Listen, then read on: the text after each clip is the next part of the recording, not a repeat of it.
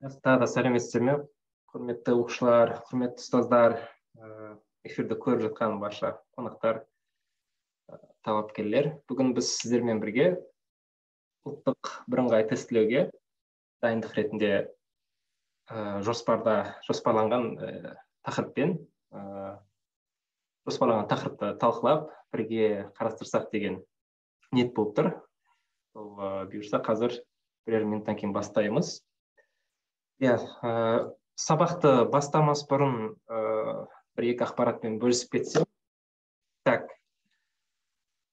Мен қазір сіздерге қоса салайын слайдты.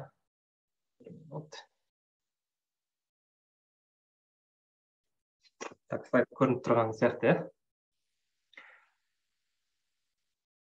Так бізде мынау слайдтың сол жағында ә, кітап тұр. Яғни біреулеріңіз біле білетін де шығарсыздар кейбіреулеріңіз білмесеңіздер кішкене таныстырып өте салайын. Осы химия пәнінен тренажер деп аталатын кітап. Ә, бұл кітап осы как раз ұлттық бірыңғай тестілеуге дайындалып жүрген оқушыларға ә, өте жақсы ә, көмекші құрал ретінде арналған кітап. Ә, осы соңғы келіп жүрген базадағы сұрақтар және де әр тақырып бойынша ә, тақырыпты бекіту мақсатында өздеріңізге түсіну мақсатында сұрақтармен қамтылған. Және жақсылап ә, сұрақтарды ә, игеріп нт ға жаңағы ұбт ға дайындаламын деген ниет болса осы кітапты алып дайындалсаңыздар болады. Иә? Алу үшін біз мынау оң жақта көрсетілген номерге баймұрат анарбекұлы баймұрат ағайларыңызға хабарласып тапсырыс берсеңіздер болады иә? Бұл айта кетейін деген бірінші хабарландыруым еді. Енді екінші хабарландыруды тез тағы да қысқаша айта салайын. Бізде бүгін ертең арғы күні үш күннің көлемінде онлайн түрде осылайша сіздермен кешкі сағат сегізде иә бұйырса қатарынан тегін түрде сабақ өтеміз ол ұбт ға байланысты осы бүгінгі тақырып ол периодтық жүйеге және периодтық жүйеден ары қарай ядролық реакцияларға қарай көшеміз де және сонымен бекітеміз бүгінгі күн. Ал ертең және арғы күндер тағы да осы көбірек келіп жүрген тақырыптарды қозғап талқылап сіздермен бірге қарастырамыз. Иә бүгінгі екінші хабарландыруым осы үшінші хабарландыру бұл екінші хабарландыру жайлы қысқаша тағы да айта кететін жайт бұның бәрі тегін болады иә? Осылайша бір сағаттың көлемінде шамамен бір сағаттың көлемінде сіздермен талқылап ә, еркін форматта сіздерден сұрақ ә, болса мен сұрақ қоюым арасында мүмкін иә? Біліп жатсаңыздар сіздер ә, көмектесіп солай солай талқылап өтіп өтіп аяқтаймыз. Үш күн және осы үш күннен кейін бізде тағы да үш айлық курс жоспарланып жатыр. Ол онлайн түрде болады. Егер офлайн түрінде болса да онлайн түрінде возможно офлайн түрінде болып қалуы мүмкін. Бірақ енді қазір нақты жоспарда онлайн түрінде деп қарастырып жатыр да. Ол ә, сұрақтармен тоже осы номерге хабарласа бересіздер ғой қысқаша айтқан кезде. Ол ұбт ға нақты үш айдың көлемінде сіздерге химияны былайша айтқан кезде от до басынан бастап соңына дейін талқылап ә, қарастырып максималды түрде дайындап шығаруға тырысамыз. Мұнда бірнеше мамандар бар иә? Менен басқа да баймұрат ағайларыңыздан басқа да сол барлықтары сіздермен жұмыс жасап көмектеседі. Мұнда ә, қатысып жатқан оқушылардың арасында бәлкім бұрын екі үш жылдың көлемінде қатысып жатқан ә, химияны таңдаймын деп жүрген ниеттеніп жүрген ұл қыздар болуы мүмкін иә оқушылар? Ә, олар әрине олардың да қатысқандары дұрыс болады. Себебі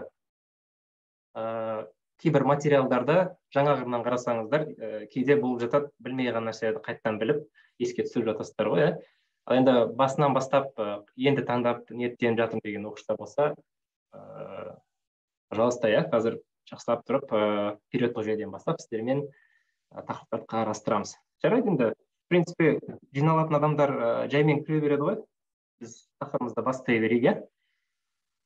Так ә, мен қазір екінші слайдты ашамын сол мына көрініп тұр ғой сіздерге периодтық жүйе бір айта саласыздар ма иә жақсы. Так бізде ә, қазір химияны бастаған кезде әдетте біз ең бірінші менделеевтің ә, периодтық жүйесінен бастаймыз. Иә ол өздеріңіз білетіндей дмитрий ә, менделеевтің ұсынған периодтық жүйесі. Ә, мұнда біз осы менделеевтің таблицасымен кестесімен қатар бізде юпактың ұсынған тоже кестесі бар. Оны өздеріңіз білесіздер. Яғни бізде мұнда көзге түсетін ең бірінші басты айырмашылығы өзгешелігі бұл ә, топтардың санында өзгешелік иә енді байқап жатқандарыңыздай менделеев кестесінде сегіз топ болатын болса юпак жүйесінде он сегіз топқа дейін кеңейтілген. Бірақ мұнда элементтердің саны өсті деген емес. Бұл яғни элементтер бәрінде бір ғой. Яғни жүз жиырмаға жуық элементтер бірақ топ, топтаған кезде мына д элементтерін п элементтерін жеке жеке топтағанда ә, сол себепті осындай юпактың қазіргі заманауи кестесі тоже қолданыста. Осы екі кестемен қазір в основном жұмыс жасаймыз. Енді ары қарай жүре берейік. Бізде мына нәрсе бар. Бұл ә, кім біледі? Бұны айтып жүрсеңіздер біліп отырғандар болса атсалысып отырайық. Қысылмаңыздар айта беріңіздер.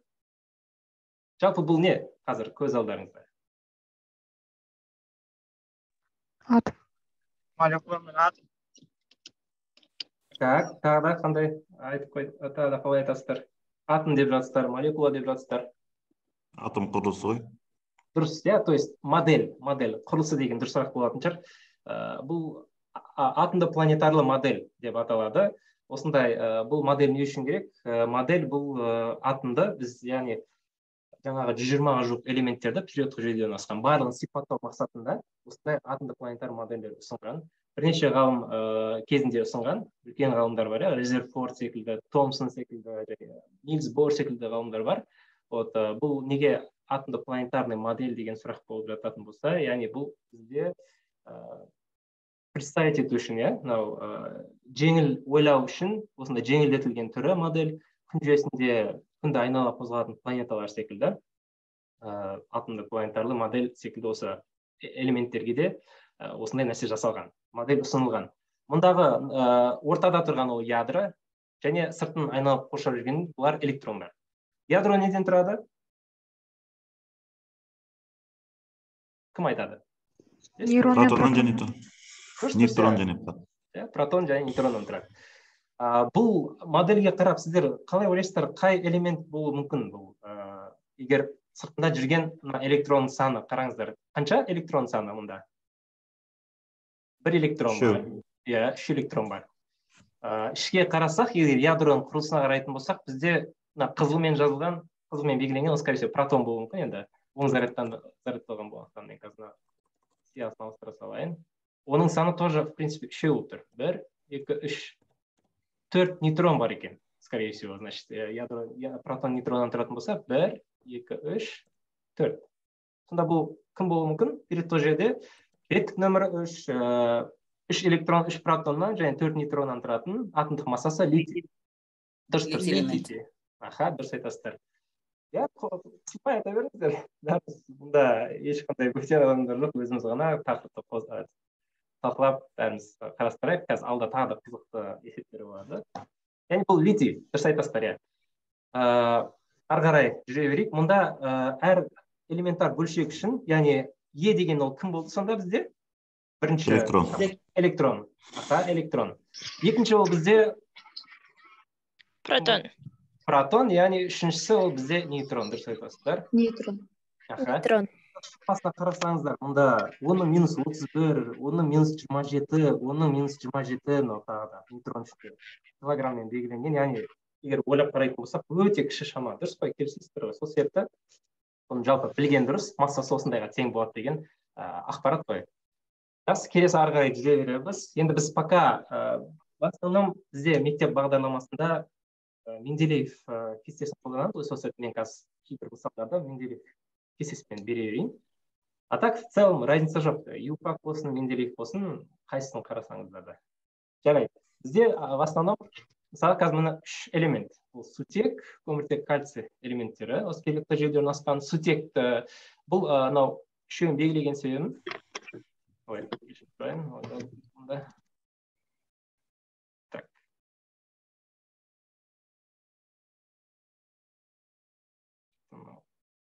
Бір минут. Иә былай тұра берсін мынау элементтің символы h деп белгілені ә, белгіленеді. Так бір кісі қол көтеріп жатқан сияқты. Иә сұрай беріңіз поднял руку деп тұр да мында или басылып кетті ме екен? Ладно басылып кеткен шығар. Мында h ол элементтің символы астында элементтің атауы және бірден нөл бір ол атомдық массасы оны білесіздер. Мындағы бір ол реттік номері әдетте осылай жазылады иә элементтер. Мынау бір ол электронның саны яғни бұл жерде энергетикалық деңгейде қабатта орналасатын жалпы электронның саны. Енді сутек өзі бір ғана элементтен то есть бір ғана электроннан тұратындықтан бұл жерге бір деп жазған. Көміртекте дәл солай. Көміртек мұнда ә, символы жазылған. Көміртек яғни элементтің атауы және атомдық массасы көміртек. Алты деген яғни ол ә, реттік нөмірі және мұнда тағы да осы көміртекте бар. Саны ал қайта айтып жібересіз ба? Что то естімей қалдым или басып кеттім екен? Жарайды. Электрондардың саны то есть бұл жерде жалпы энергетикалық деңгейде орналасатын электрон саны көрсетіледі. Енді келесі үшіншісі ол бізде кальций. Кальцийдің символы то есть элементтің атауы также атомдық номері жиырма деген ол реттік нөмірі және мында электрондардың саны. Жақсы яғни бұл не үшін беріп жатырмын? Бұл нәрсе енді арамызда ә, кейбір жаңа айттым ғой жігіттер қыздар болуы мүмкін. Екі үш жылдан бері может одан көп уақыт бойы біреулер олимпиадаға қатысып ұбт ға келіп химия дайындап ә, химия таңдап жатқандар бар. Немесе осы он бірінші сыныпқа келіп енді таңдап жатқандар болғандықтан максимально ә, информация берілген деп осылай айтып өтіп кетіп жатырмыз. Яғни мынау энергетикалық деңгейде орналасатын электронның санының формуласы келтірілген. Үлкен n деген яғни осы энергетикалық қабатта болатын электрондардың санына тең болса n деген бізде периодтың санына қарай біз n тең бір болған кезде n-нің мәнін шығарамыз n тең екі болған кезде n-нің мәнін шығарамыз және солай солай. Әр период үшін әр қабатта энергетикалық деңгейде орналасатын электрондардың санын осылайша анықтап отырады екенбіз. Енді ары қарай жүре берейік ә, сонымен біз осы айтылып өтілген көміртек және кальций элементтерінің алты деген ол бізде. Сонымен атомдық массасы он екі болды жуықтағанда. Түсініп тұрсыздар оның бәрін. Протон саны алты болды электрон саны алты болды нейтрон саны алты. Нейтрон саны қалай алты болды? Ол себебі атомдық массасынан біз протон санын азайтып тастаймыз иә? Оны білесіздер. Кальцийде де солай. Яғни атомдық массасы қырық протон саны жиырма электрон саны жиырма нейтрон саны жиырма. Енді осы ретте көміртек үшін электрондық конфигурация деген ұғыммен байланыстырып осы конфигурациясын жазсақ қалай болады? Электронды конфигурациясы көміртек үшін именно бірінші. Айтып жіберсеңіздер мына астына периодтық таблицаны қойып қойдым кестені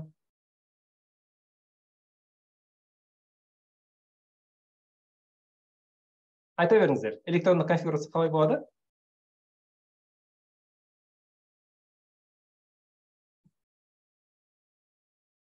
Электрондық конфигурация дегеніміз жалпы не содан бастайық иә ол мынау мысалға сутек үшін біз электрондық конфигурациясы қалай болады? Сутекте электрондық конфигурациясы бір с бір. Иә? Көміртек үшін қандай болады сонда?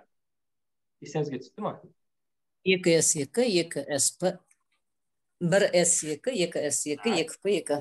Все әдемі. Иә екі п екі дұрыс. То есть бұл жерге біз қараймыз енді атомды планетарлық моделі бойынша суретін салу керек болады да. Мысалға сіздерге суретін салып қою мүмкін и электрондық конфигурациясын жаз дейді. Енді сурет сал деген ұбт да келмейді әрине бірақ сызбасын салып қою мүмкін. Енді қазір сол атомды планетарлық моделін салайық. Ортада ядро орналасады деп айттық. Сыртында бір қабат келісесіздер иә? Ол бір с екі болған кезде сыртында екі электрон. Және екінші қабат себебі бұл көміртек екінші ә, екінші периодта орналасқан. Сонда қанша электрон болады? мұнда екінші қабатта? Төрт электрон. Төрт электрон. Болады. Біреу екеу үшеу төртеу төрт қайдан шықты деген сұрақ. Міне екі деген екінші период екінші қабатта мына мынау екі төрт электрон ғой. Түсініп ма? Ал мына бір с екі ол мына бірінші қабатта. Ядроға жақын орналасқан қабат энергетикалық деңгейде орналасқан екі электрон а мында төрт электрон. Осыдан шықты. В целом осы енді ә, жарайды бұл көміртек үшін болды электрондық конфигурациясын салдық және атомдық планетар моделін де жасап тастадық. Енді біз ә... так мына жерге біз сыйдыра алмай қалатын жарайды келесі суреттерге қазір біз кальцийді салайық. Енді міне ә, келесі мынау бейнеленген қандай элемент? Қазір сол жақта көрініп тұрған мына. Натрий. Натрий элементі иә натрий элементі натрийдікі міне жазып қойдық бір с екі екі с екі екі п алты үш с бір энергетикалық деңгейде орналасқан электрон саны формуласы берілген.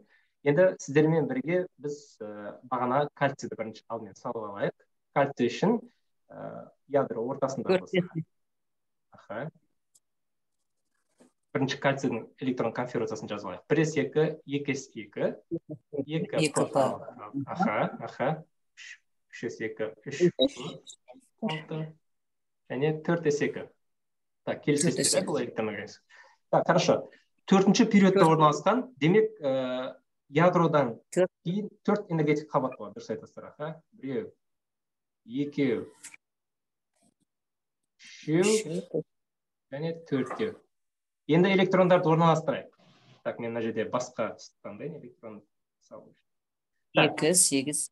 Так хорошо. Мына жерде екі болады. Екі электрон. Біріншісінде мынаны салдық. Енді бізде екінші периодта сегіз электрон бар.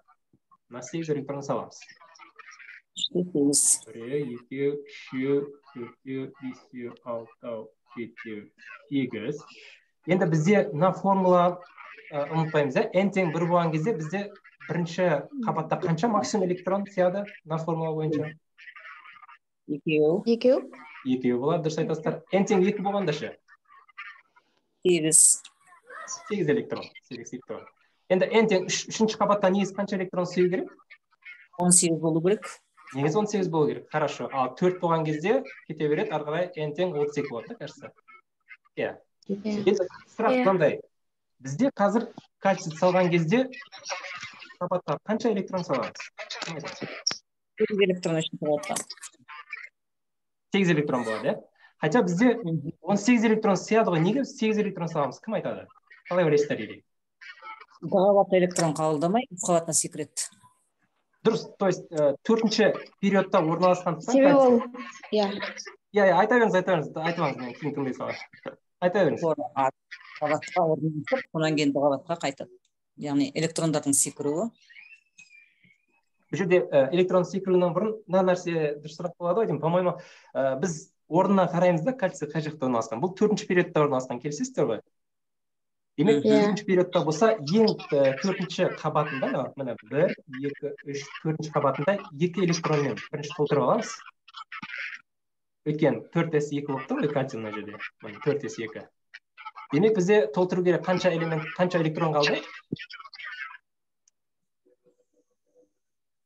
сегіз электрон сегіз электрон қалды вот мына сегіз электронды содан кейін барып үшке жазамыз бір екі үш төрт бес алты жеті сегіз. Ә, негізі үшінші энергетикалық деңгейге біз он сегіз электрон сала аламыз да. Ал біздің жағдайда сегіз электрон болып қалды дегенді түсіндіргім келіп жатқаны ғой мен сол үшін кальцийді мысал келтіріп жатқанмын өйткені біз орнына қараймыз бірінші төртті толтырамыз төрттен қалған үшті аударамыз деген сөз. Жалпы осы жалпы осылай жүреді. Кез келген элемент үшін сіздер осылайша атомды планетарлы модельді сызып ә, ары қарай энергетик мынау электронды конфигурациясымен де сипаттауға болады. Мысалға былай отырып ә, көп уақыт алады да мынау? Мысалға біз хорошо кальций үшін жасап жатырмыз. Ал егер ә, уран үшін жасау керек болса мысалға мындағы актиноидтарда сызып отыру өте көп уақыт алады және ыңғайсыз. Сол себепті мына электронды конфигурациясын сызған өте жеңіл. По моему менің эхом шығып жатыр ма или біреу звук шығып жатыр ма? Микрофонды өшіре тұрасыздар ма? Достар мен ғана микрофон қосса дұрыс болар еді. Арасында сұрақ болған кезде қайта не істеп отырсаңыздар болады. А вот енді қойылған сияқты. Эхо шығып жатыр да просто. Жақсы келесі ары қарай жүре берейік. Енді сіздермен бірге ә, массаның атомдық бірлігі деген ұғыммен танысамыз. Себебі бізде ә, так ә, қазір бір минут.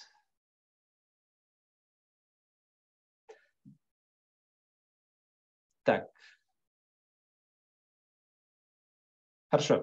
Мұнда ә, көміртектің атомдық массасын біз айттық бағана бірақ байқасаңыздар бұл жерде ә, біз өлшем бірлігін жазбаймыз. Келісесіздер ма? Ал енді ә, бізде массаның атомдық бірлігі деген ұғым бар. Ә, жалпы мағынасы қалай? Кім айта алады массаның атомдық бірлігі деген мағына не үшін бұл термин неге енгізген ғалымдар? Қалай ойлайсыздар? Кім айта алады? Жалпы идея қандай бар? Ойда айта беріңіздер. Қазір бір тұжырым шығарамыз дейді сұрақ мынандай да он екіден он екі деп біз обычно қабылдаймыз көміртекті атомдық массасы он екі деп айтамыз. Бірақ бізде массаның атомдық бірлігі деген ұғым бар. Бұны жайдан жай енгізілмеген бұл не үшін енгізілді деген сұрақ қой? Сұрақ сондай. Көміртектің вообще бір атомның массасы қаншаға тең? Негізі мына көріп тұрғандарыңыздай бір атом массасы бір бүтін тоғыз жүз отыз үш оның минус жиырма алты дәрежесі килограммға тең негізі. Ал бірақ біз оны он екі деп жазамыз. Сонда он екі қайдан шығып тұр?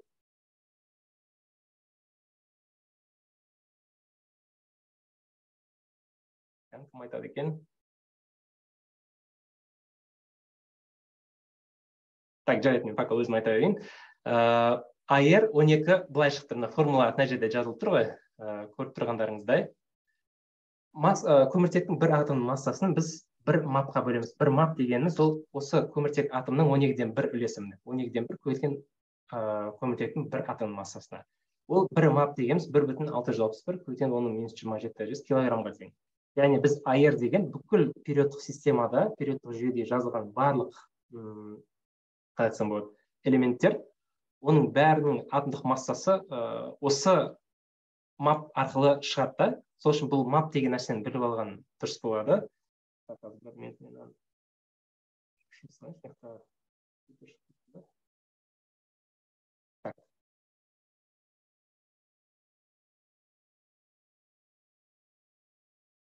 Так иә сонымен бұл он екіге сол үшін тең болды. Яғни көміртектің бір атом массасын біз бөлеміз бір бүтін алты жүз алпыс бөлген оның минус жиырма жеті дәрежесі килограммға осыдан он екі деген мәнді осы жерден ой он екі деген мәнді осылайша аламыз. Енді кальций үшін мысалға сұрақтар болуы мүмкін.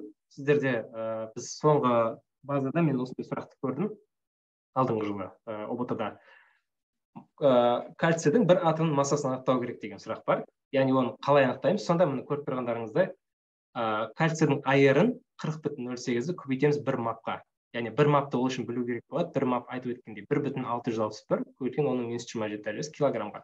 Аеріне көбейтеміз сонда мынау массаны аламыз. Сонда алпыс алты бүтін бес жүз жетпіс үш көбейткен оның минус жиырма жеті дәреже килограмм бұл ә, негізгі кальций атомының массасы түсініп ма жалпы ә, реттілік осындай да маптың сол үшін ә, қызметін не үшін ә, ондай ұғымды енгізген деген сияқты сұрақтармен білгеніміз дұрыс болады.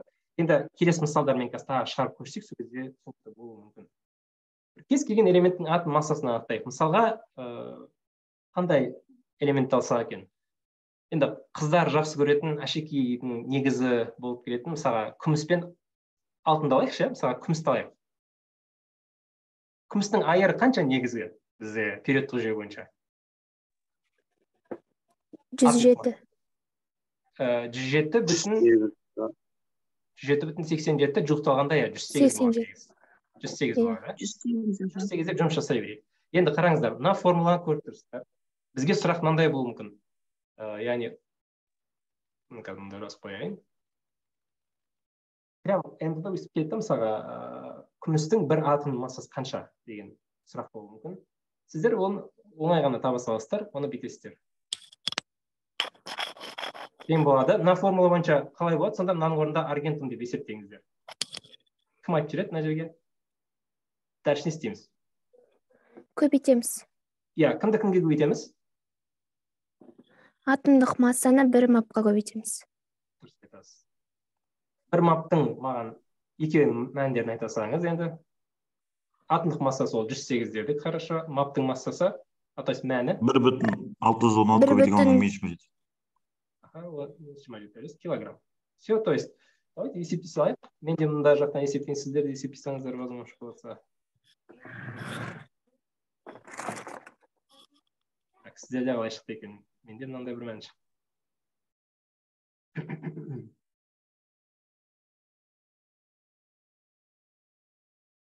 жүз сегізді көбейттік бір бүтін алты жүз алпыс бірге оны минус жиырма жетіні тіркеп жаза берейік оны көбейтпей ақ қойыңыздар просто мына екі коэффициент екі санды көбейте салыңыздар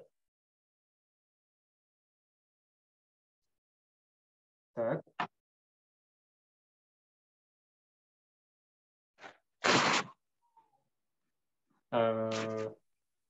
жүз жетпіс тоғыз бүтін мыңнан үш жүз сексен сегіз шықты иә иә иә дәл солай оның минус жиырма жеті дәрежесі килограмм то есть ұбт да егер осындай сұрақтар болып жатса ешқандай қорықпай ә, біз маптың мәнін жаттап алу керек болады. И содан кейін осы маптың мәніне көбейтіп атомдық массасын ә, кез келген элементтің осылайша бір атом массасын есептеуге болады.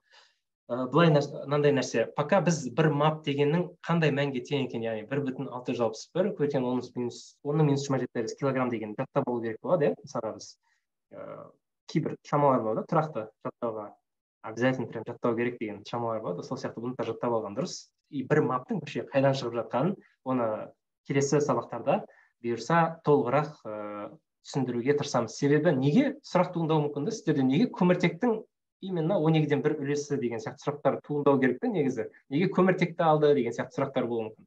Ол сұрақтармен дальше ыыы бұйырса кездесіп жатармыз иә. Келесі ары қарай жүре берейік. Енді біз мынау алдарыңызда периодтық жүйе.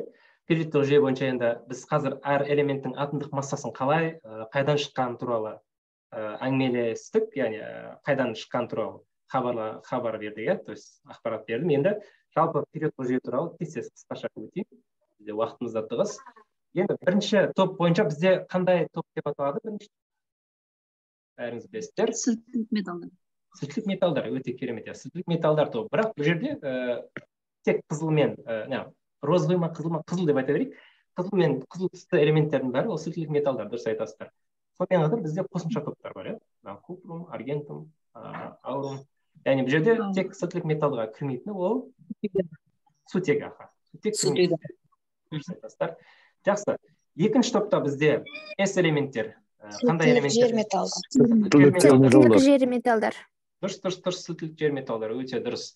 Ә, сілтілік жер металдардың активтілігі мынау сілтілік металдарға қарағанда кішкене бәсеңдеу да бірақ это не означает что они вообще не активные они тоже активные то есть оларда өте мықты активтілігі.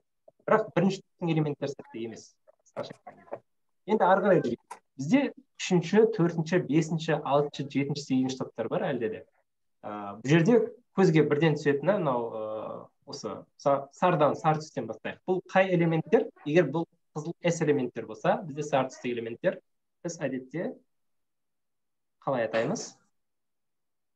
Металдар. П элемент элементтер. п элементтер деп атаймыз иә? П элементтер жақсы п элементтер болса п элементтердің мынау соң жағынан бастайық сегізінші тобынан бастап. Сегізінші топтың ыыы топтағы элементтер біз қалай атаймыз тағы да? Мысалға бірінші топта біз сілтілік металдар деп асыл газдар. Инертті газдар ма? Дұрыс инертті газдар.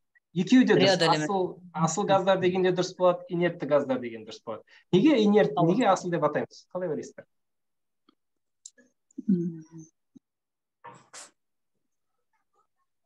Ол ы просто так біз инертті и асыл деп айтпаймыз да. Оған ауаның құрамында бар энергетикалық қабаттар аяқталған. Жеңіл газдар болғандықтан ба так өте, жақсы. Мұнда ә, варианттар естіп жатырмын да. Ауада бар деген вариант аса ерекше қатты ұнады бұл жерде. бұл элементтердің көпшілігі бізде бәрі ә, жер қыртыста болсын ауада кездесіп жатады. Бірақ ә, более дұрысырақ айтқаны бағанағы. Қалай айттыңыздар? Электрон қабаты толған деп біреуіңіз айтты Толық аяқты. иә иә. Қалған аха.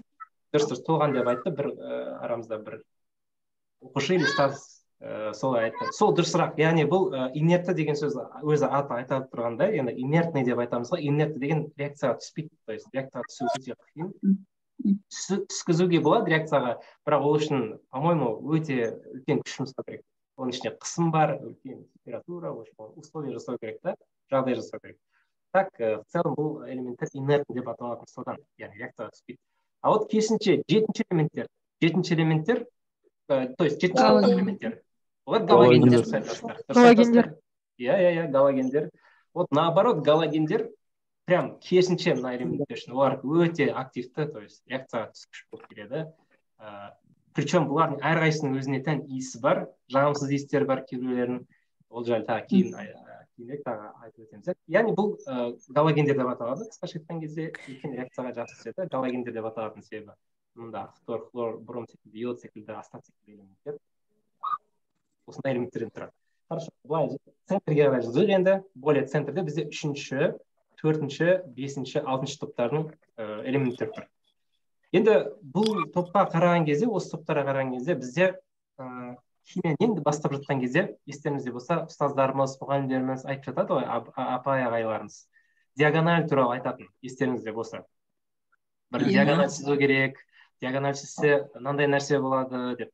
Вот как раз таки осы жерде біз осыны қолдансақ болады иә осы бордан астапқа қарай дұрыс дұрыс иә Бордан. бордан былай негізі полонияға дейін жүргізе берсек те болады өйткені астап уже галоген да то есть бізде былай жүргізген кезде енді жоғары жағында кімдер сол жағында кімдер? Металлдар бейметаллдар деп қалай бөлеміз? Кім айтады? Мета- металлдар жоғары жағында.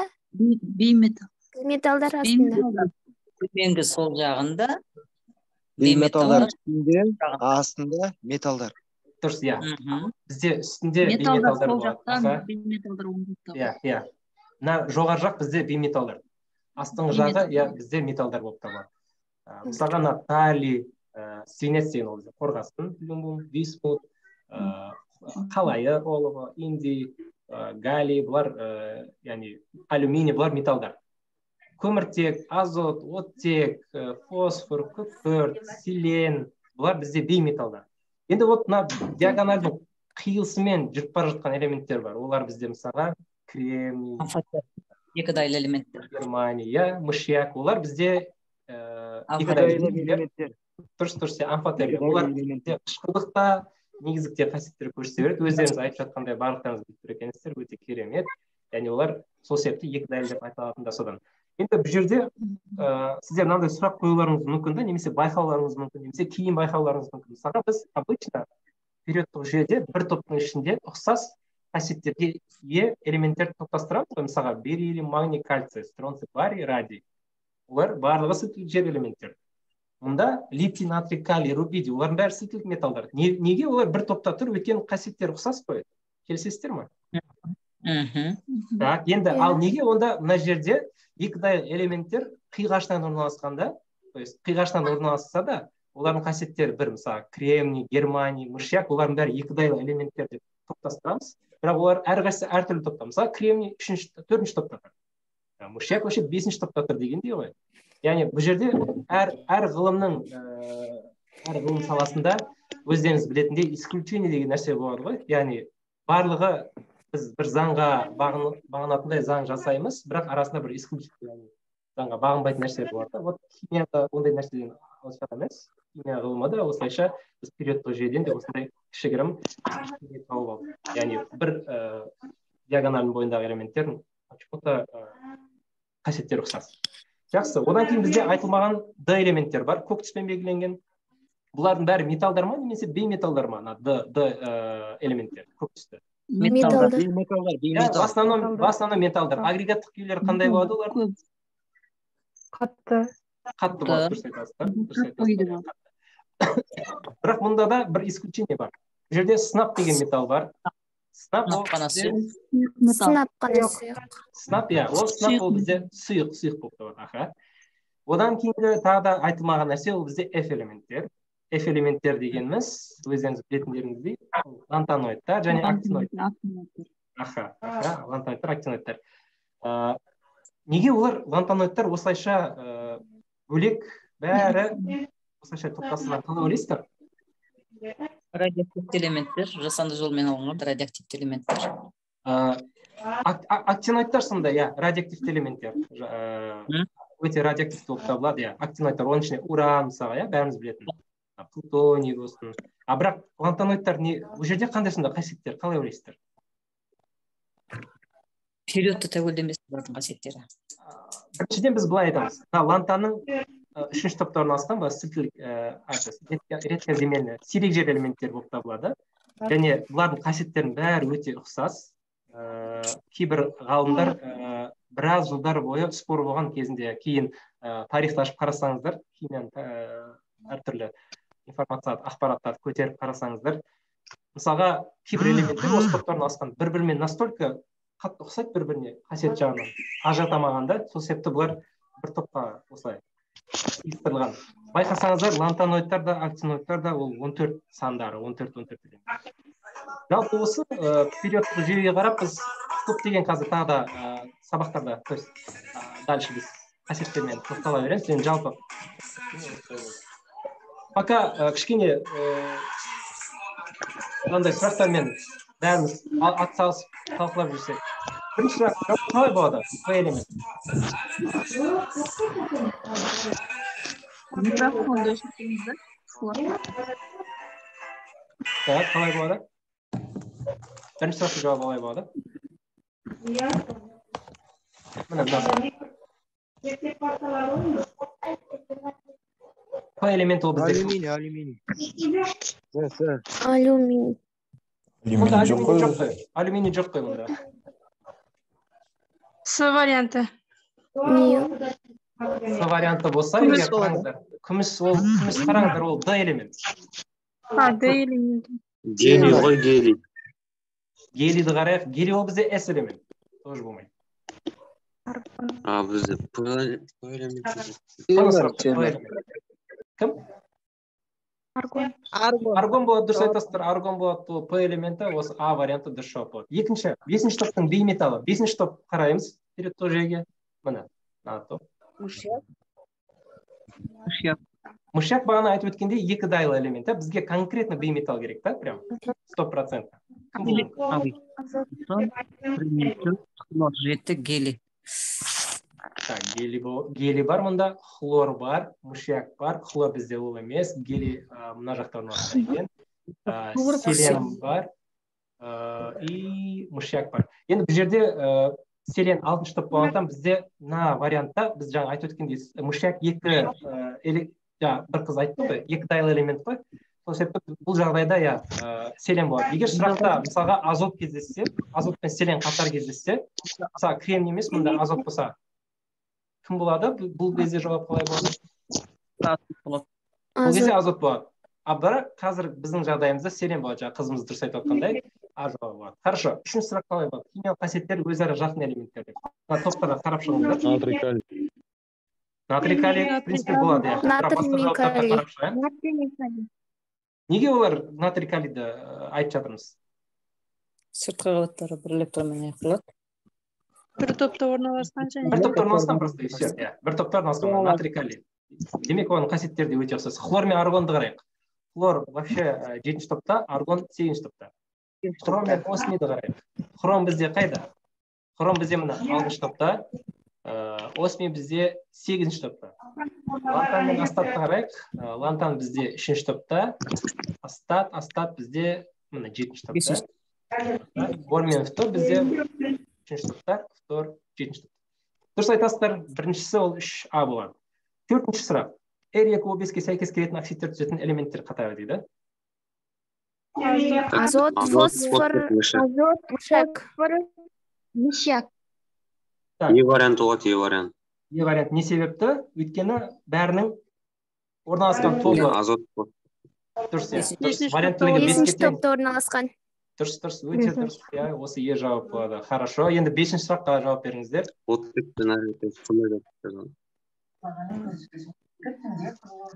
Бесінші сұрақ қалай дейсіздер жауабы. Реттік нөмірі он төртке тең элементтің сыртқы электрон қабатында электрон санын айту керек екен. Қалай ойлайсыздар не болады? Екеу. не себепті екеуі болады ол он төртінші элемент кім бізде? Кремний иә. Кремний. хорошо. Төрт төрт Электрон саны төрт.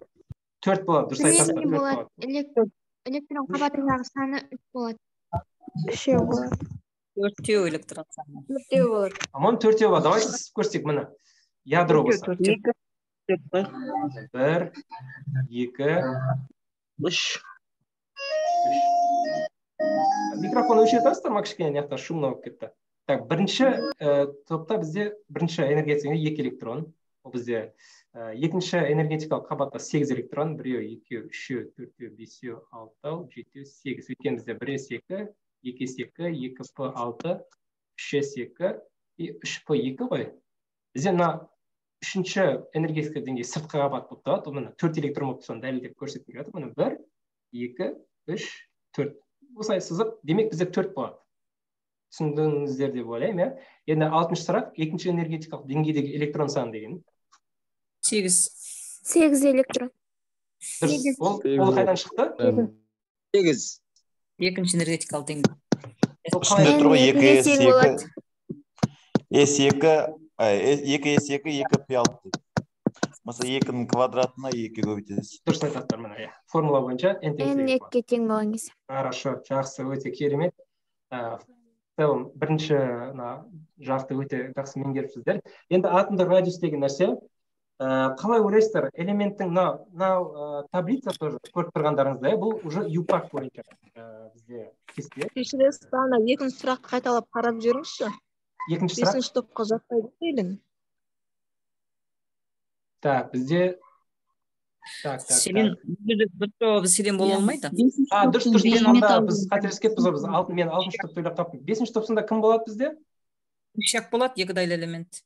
Дұрыс дұрыс айтасыздар С- мышьяк болады. Егер азот болса азот пен мышьяк қатар кездессе біз азотты белгілейміз. Өйткені азот ә, уже стопроцентный бейметалл а так екі дайлы ол бізде мышьяк болып тұр. Себебі бейметаллда бола алады ғой мышьяк дұрыс дұрыс өте дұрыс мен топ деп ойлап дұрыс айтқандарыңыз дұрыс болды жарайды. Мына жерде енді бірінші кестеге қарайық. Бұл кестеде бізде в принципе мынау юпак бойынша кесте берілген. Келісесіздер ма?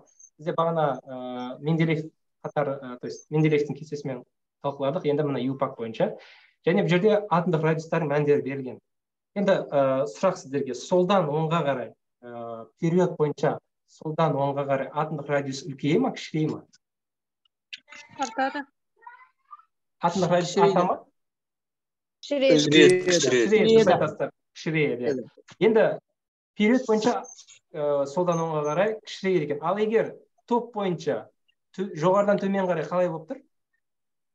Төменнен жоғары қарай артады атом радиусы Ай. өте артады артады артады то есть артады енді осыған сай сұрақтарға жауап берейік міне бірінші сұрақ берілген берілген элементтердің ішінен мына бірінші сұрақты қараңыздар ой бір минут атом радиусы кішірейтін ба міне иә жоқ міне берген элементтердің ішінен радиусы ең үлкен атомды анықтаңыз деген мынау кремний натрий цезий алюминий магний қайсысы ең үлкен атомды радиусы ең үлкен кімде натрий ма магний міне кремнийде он сегіз екен цезий цезий цезийде екі де жеті дұрыс айтасыздар негізі цезий болады не себепті сонда бізде иә иә дұрыс айтасыздар төменнен жоғары қарай то есть жоғарыдан төменге қарай бізде радиус артады сол себепті ең мына жақта орналасқан элемент ол бізде цезий ода ең үлкен мәнге ие болып тұр. Хорошо екінші сұрақ. Топтарда рет нөмірі артқан сайын атом радиусы өзгермейді Кем- кемиді артады. Қайсысы болады кемиді. Топтар ретік нөмірі. Әуелі кемиді сосын артады болады ғой. Иә тағы қарап көрейік. Дұрыстап ойланып көрейік тағы да. Тағы қандай вариант? Топ деген былай. топ деген артады. ғой. Топ бойынша артады. Кемиді топтарда артады. Топтарда кемиде артады қарап көріңіздерші мына бериллий тобын алыңыздар. Бериллий магний кальций стронций барий. Артып жатыр ғой келісесіздер ма? Екі де жиырма төрт екі де он бес міне. То есть бір де он екіден басталды да екі де жиырма төрттен аяқталды. Демек бізде екінші сұрақта артады екен. Топтардың рет нөмірі артқан сайын Период хорошо үшінші сұрақ. Бұл жерде период бойынша сұрақ тұр ғой топ бойынша емес. Период бойынша қарамаймыз. Не топтарда деп тұр ғой жоқ топтарда деп тұр мына қараңыздар топ, бойынша. топ деп тұр топтарда деп тұр ғой артқан сайын атом радиусы төртінші сұрақпен шатасады сол Артады. А, екінші сұрақты оқы екінші сұрақ а біз екінші сұрақты талқылап отырмық қой мына мына сұрақты екінші сұрақ топтарда рет нөмірі біз қазір төртке келеміз қазір иә Пока сказали, екінші жатасыз. аха так үшінші сұрақта үшіншіні міне мына сұрақты қарастырыңыздар енді міне мен көрсетіп тұрған. Берілген элементтің ішінен радиусы ең үлкен атомды анықтаңыз тағы да. Жерден қалай болады? Фосфорды қараңыздар титан орналасқан ретіне байланысты. Вольфрам барий иә өте дұрыс барий болады. Өйткені ода ыыы екі де жиырма төрт. Иә хорошо. Төртінші сұрақ. Енді міне период бойынша рет нөмірі артқан сайын атом радиусы қалай болады екен? Период бойынша былай қарай. ол кемиді оған бұл кемиді дұрыс айтасыздар иә. Бұл жерде кемиді. Кемиді. енді бесінші сұрақ. Берілген элементтің ішінен радиусы ең үлкен атомды қайтадан. Тағы соңғы сұрақ. Мына екеуі қатар кетіп қалған ау деймін иә бес тура осы ғой бірде бұл жерде де в целом барий болады хорошо. Келесі сұрақ енді. Периодтағы реттік нөмірінің өсуіне сай элементтердің қасиеттерінің өзгеруі деген екен. Периодта реттік нөміріне сай қасиеттері қалай өзгереді? Біз бағана айттық металл бейметалл жайлы әңгіме болды. Иә жоғарыдан. Жоғарыдан төмен қарай металдық қасиет артады ғой. Бұл жерде бізде период деген сөз яғни солдан оңға қарай жүреді. Мына бірінші период екінші период Солдан ол бейметалдық артады дұрыс айтасыздар иә металдық қасиет кемиді де бейметалдығы металдық және бейметалдық қасиеттер артады е варианты дұрыс қой е варианты е варианты қасиет кеміп бейметалдық қасиет артады міне қараңыздар мына жерде калий кальций скандий титан то есть мынау металл натрий магний болып жатыр да металл алюминий міне металлдың қасиеті кеміп жатыр металдық қасиеті кеміп бейметалдық қасиеті артады. Қасиет артады дұрыс, аха. иә, ответ е болады хорошо. Келесі сұрақ. Периодта элементтің реттік нөмірі өскен сайын қасиеті және сипаттамасының өзгеруі. Реттік нөмір өскен сайын элементтің реттік нөмірі өскен сайын периодта олардың атомдық массалары да өсе береді? Так ондай жауап бар ма бізде? Білмеймін мына вариантқа қараңыздар бес вариант артады. Электрон қабатының саны артады ғой е да е шығады так бізде артады. қасиет точно артпайды. Не себепті? Өйткені металдық қасиеті бізде ә, ол наоборот кемиді содан кеміп жатыр иә. Иә. Енді қараңыздар ядро заряд тұрақты болып кетеді дейді. Жоқ бізде ядро зарядының бәрі өз- өзгеріп жатыр өзгереді иә алты тоғыз он. Ядро ядро заряд заряды кем- кемиді емес ол да болмайды мынау да болмайды. Ядро заряд артады. Ядро заряд деген не вообще? Кім айтады маған?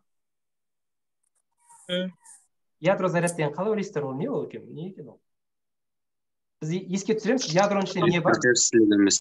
Электрон бар протон бар нейтрон бар. Жоқ электрон ядроның сыртында жүреді. Ядроның ішінде протон бар және нейтрон бар. Нейтрон демек протон деген сан ол протон реттік нөміріне сәйкес келеді. Сәйкес келеді иә. Ядро заряды артады сол себепті. Протон саны артып жатыр. Ғой міне қараңыздар ма- натрийде реттік нөмірі он бір яғни он бір электрон он бір протон бар. Магнийде он екі. То есть өскен сайын былай артып жатыр. Аргонда он сегіз протон бар дегендей ғой. Демек бізде ядро заряд артады деген д вариантын белгілейміз. Түсінесіздер ма мхм. Хорошо.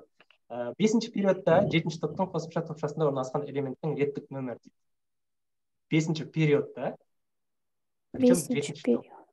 йод жетінші топ д елу үш д елу үш болады бесінші периодта жетінші топта дейді иә қосымша Елу үш.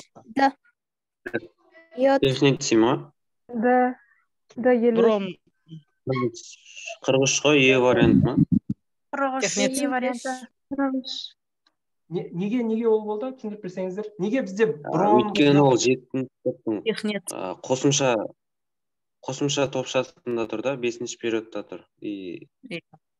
оның э, э, реттік нөмірі дұрыс технеция мысалға бұл жерде бром ә, бромның да ана отыз бес деп берілген ғой қараңыздар реттік нөмірі берілген иә бірақ ол бізде ол Иә, технеция қырық үш дұрыс дұрыс өте дұрыс жауаптарыңыз дұрыс келесі сұрақ төртінші периодта бірінші топтың қосымша топшасында орналасқан элементтің реттік нөмірі төртінші периодтың бірінші тобында мыс жиырма тоғыз ғой дұрыс айтасыздар жиырма тоғыз болады хорошо. Бұл сұрақтарды аяқтадық. Енді мына бір сұраққа тез қарап жіберейік. Осы соңғы сұрақтар болды. Электрондық конфигурациясы мынандай. Үш ес екі үш б бес дейді? Так период жетінші топтың элементі он жеті э, хлор ғой дұрыс хлор болады жетінші марганец па жоқ жоқ жоқ ол хлор болады хлор он жеті үш ес екі үш жетінші топта ма иә иә жетінші топта жетінші жетінші топта а варианты бола ма а варианты бар жеті болады. так ә, келесі сұрақ мынау а варианты болды атомның электрондық конфигурациясы бір есе екі екі есе екі екі алты мынандай сутекпен түзетін қосылыстың жалпы формуласы дейді қалай ойлайсыздар хлор. Так не ғой Аш- д вариант ма д д вариант д бәріңіз келісесіздер ма д ма да да да. иә да А- аш хлор аш хлор болады иә аш хлор деген сияқты ғой типа. Иә иә иә бізде аш хлор болып тұр аш хлор болады дұрыс айтасыздар енді ед. конфигурациясы мынандай. Элемент атомның қалып жағдайда жұптаспаған электрон саны. Давайте оны он көрсетейік. бес жұптаспаған үшеу біреу екеу екі п алты біреу ғой бұда бір бірден алтау алтау болады үш п үш деген Екеу сонда бізде былай болады міне сыртқы электронда біреу екеу үшеу жұптаспаған қанша болып тұр сонда? Үшеу үшеу үшеу болып тұр. Иә болды үшеу то есть хорошо. Енді мына сұрақ. Мына иондарда n минус үш және алюминий плюс үш жалпы электрон саны қаншаға тең дейді ал енді осыны қалай шығарасыздар так. N минус үш деген сөз мхм. қандай идеяларыңыз бар? Он сегіз. Он жиырма сегіз электрон. А жоқ ондай жауап жоқ. Жиырма электрон. Анада жиырма электрон болады бұны қалай жасаймыз? Енді бірінші бүйтейікші азот вообще қайда орналасқан? Азотта электрон саны қанша? Жеті электрон. жеті электрон азотта егер азотта а, атом күйінде Жиырма болады ғой. болса, он болады. жеті ион кезінде онға көт- көтеріледі. Яғни минус үш деген сөз яғни электрондар артты деген сөз. Деген сөз. Иә. Жеті электрон жеті протон. Протон өзгеріс да электрон ғана артады. Яғни он электрон пайда болды енді алюминийде плюс Он үш. яғни өзі ә, жай атом күйінде қанша алюминийде бізде он үш он үш плюс үш болса ол келмейді иә сонда бізде жалпы он плюс он тең болады жиырма электрон жиырма хорошо жақсы. В целом осылай. Периодтық таблицада ә, пока сұрақтар- бергел бергел осы сұрақтарды қарастырдық. Енді дальше ә, бізде жаңағы тақырып бойынша ядролық реакция деген нәрсе бар еді. Ядролық тез қысқаша тоқталамыз сонымен ә, сабағымызды аяқтаймыз. Бізде ядролық реакция деген ең бірінші оны визерфорд деген ғалымды білесіздер. Бағана модельді ә, жасауға қатысқан ғалымның бірі. Он тоғызыншы жылы іске асырады мынау көріп тұрған схема бойынша ә, көріп тұрғандарыңыздай микрофонды өшіре тұрасыздар ма кішкене? Ә, схема бойынша мына азоттың ядросын альфа бөлшектермен атқылағаннан бізде осындай ең бірінші ядролық реакцияны жасаған екен визерфорд сол себепті ә, бізде бұл мәні ядролық реакциялар өте ұбт да көп кездесіп жатыр. Сол үшін бұл, бұл сұрақты қосып жатырмыз. Бұл жерде жаттау керек ә, формулалардың бірі мынау формула. Ә, жартылай ыдырау периодымен байланысты бұл жерде яғни ядролық реакция деген тақырып жалпы бұл периодтық таблицамен де байланысты болып тұр. Былай қарасаңыздар өйткені элементтер жайлы әңгіме болып жатыр ғой. Және радиоактивность радиоактивтілік деген нәрсемен байланысты мына жартылай ыдырау период деген жалпы ұғым бұл радиоактивтілік деген ә, тақырыптың ішіндегі қозғалу керек нәрсе да. Сол себепті біз ядролық реакцияны осынша бір көтерген кезде жан жақты қарастыру ә, қарастыруға міндеттіміз. Ә, яғни бізде өте жоғарғы ә, элементтерден мысалға ә, уран секілді жаңағы актиноидтардың қатарындағы сол элементтерден біз әртүрлі изотоптар. Альфа бөлшектері мен бета бөлшектерін атқылауының әсерінен бізде басқа элементтер түзіледі. Яғни осы сұрақтарға біз қазір бір екі мына сұрақтармен бекітіп жіберсек ә, тақырыбымызды сол кезде түсінікті болып қалар. Бірінші сұрақты қараңыздаршы. екі жүз отыз екі тоқсан мынау қандай элемент бізде? Қарап көріңіздер тори дұрыс айтасыздар. Тори элементі. Тори элементі 90 ә, реттік нөмір екен. Және 232 атомдық массасы альфа бөлшектермен атқылаған ыдырау реакциясының жалғасын тап деп тұр. Мұнда жаза салайық. 232 90 тори альфа бөлшектермен атқылаған кезде альфа бөлшек деген не? Қандай элемент бізде? Альфа бөлшектерінде қандай элемент еске түсіру керек? Ол бізде гелий еске түсіру керек. Иә, төрттен дұрыс бір екіде төрт иә. демек бізде теңдіктің сол жағындағы мен теңдіктің оң жағындағы реттік нөмір атомдық массалары бірдей болу керек та. Яғни ядролық реакцияларды есептеу шығарған кезде біз соған ә, негізделеміз.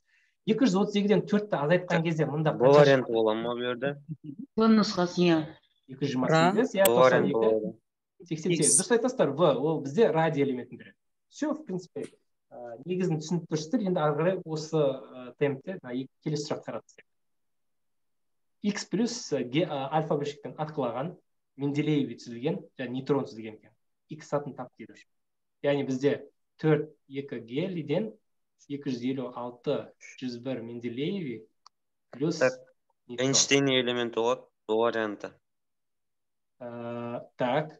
Бірақ ол жерде қандай да бір қате бар ма или жоқ па? Дұрыс па или? Вариантын бір тексеріп көресіз ба көрсете беріңізші давайте давайте көрейік эйнштейн не болсын тоқсан тоғыз болсын қарап көрейік ал. Сол жағында атомдық массасы екі жүз елу жеті болды. Мына жақта екі жүз елу жеті болды. жүз бір болды. Тоқсан тоғызға екіні қосамыз гелийді тоже жүз бір болады. То есть дұрыс иә? Эйнштейн не болады түсіндіңіздер ма? Елу жеті болу керек қой. А бір бар ғой. Аха, дұрыс. Аха иә мына жерде бір бар. Елу нейтрон иә, аха нейтрон бар дұрыс дұрыс. Аха нейтрон бар. Жақсы. Үшінші радий атомнан альфа бөлшегі бөлінген кезде бөлінетін элемент. Радий атомын қарайықшы. Радий бізде қандай иә белгісіз ой екі қанша еді? Екі жүз плутоний екі жүз жиырма алты сексен сегіз екен. Радий альфа бөлшегі бөлінген кезде альфа бөлшегі деген біз онда кім деп бөлеміз оны? Гелий. а дұрыс дұрыс төртте гелий. болады дұрыс. Иә төрт екі гелий. Сонда екі жүз жиырма алтыдан төртті азайтамыз сексен сегізден екіні азайтамыз. жиырма екі қай элемент біреу шығады сонда. Радий радийдің біреу несі шығады. Екі жүз жиырма екі сексен алты. Сексен алтыншы тұрған. Сексен алты сексен алты. Екі жүз жиырма екі болды. Сонда бұл сексен алты деген реттік нөмірге кім сәйкес келеді? Радон сәйкес келеді. Міне қарасаңыздар оның атомдық массасы да екі жүз жиырма екі. Бәрі дұрыс болып тұр. Енді мына сұрақ төртінші сұрақ. Мына формуланы мен әдейі жазып қойдым. Осы формула бойынша қалай шығарасыздар қалай ойлайсыздар? Радиоактивті изотоптың жартылай ыдырау периоды берілген екен? Және ә, бұл тұрақты емес па? М нулевой деген. Так так хорошо. Бізде кімді анықтау керек? Екі масса. Тұрақты мәні бар. Жоқ бізде ә, есептің шартында барлық мән берілген. Бір ғана мәнді табу керек в принципе. Бастапқы масса бізде м анау есеп көрінбей тұр ағай сіздің а көрінбей тұр ма? Қазір қазір. Экраннан. Иә.